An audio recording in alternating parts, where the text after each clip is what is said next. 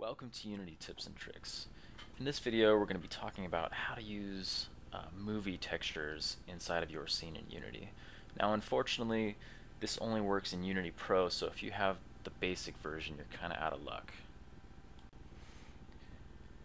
Unity supports a lot of the basic movie types that you're probably familiar with which are .mov, .mpeg and so forth and you can import them pretty much the same way you do other assets so here's a previous video. I can just actually drag from Chrome right here into the project.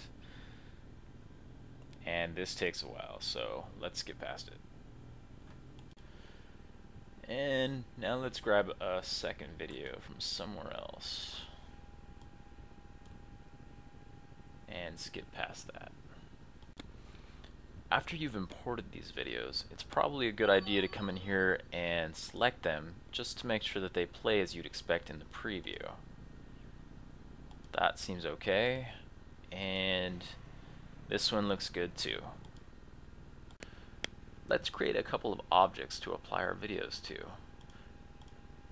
Start with a plane, and let's get a little bit crazier with the sphere.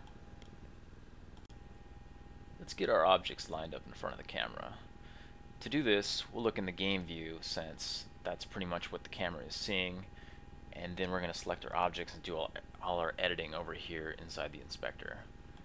I'll start by zeroing this out with the reset and making it face the camera. Let's scoot it over a little bit. That looks pretty good. Same treatment for the sphere. Strip that out. Let's get it be a reasonable size. And we'll scoot that over. But now the sphere looks kind of weird because of the uh, perspective distortion of the camera. We can fix this by actually using orthographic uh, projection right here. But now they're small, so let's uh, crank this size down to something a little better. There we go can now apply our videos just like any other material or texture. Moving back to the scene, just drag and drop. To get these videos to play, we'll need to control them from a script. We'll call this video controller. Movies in Unity are really just textures that change over time. So we can access them much in the same way.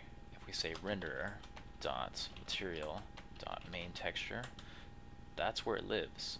But here we'll want to reference this as the object that it really is. So we'll need to do the cast to movie texture and store it in a movie texture object. So let's play it and see what it looks like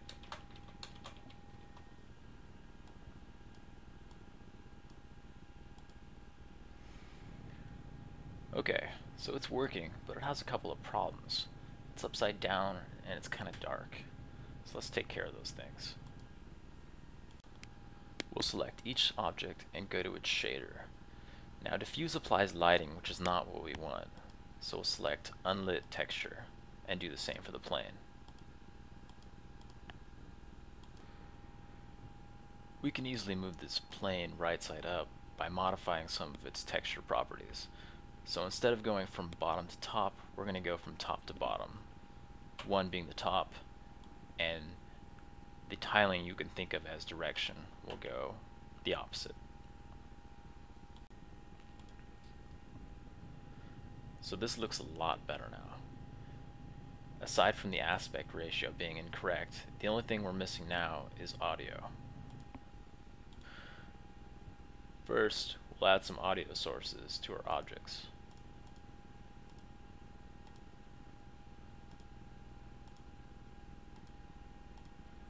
And now let's go back to our script. If we wanted to make sure we had an audio source in the future, something we probably should have done to start with is say require component type of audio source. Now anybody that uses this script in the future will have this automatically added if it's not there already. Now that we have an audio source, what we can do is make sure that we use the audio clip from the movie as the clip we're going to play in our audio component. So we'll say movie.audio clip, and then we just play them both. So that's all you guys need to get started with video. Thanks for watching.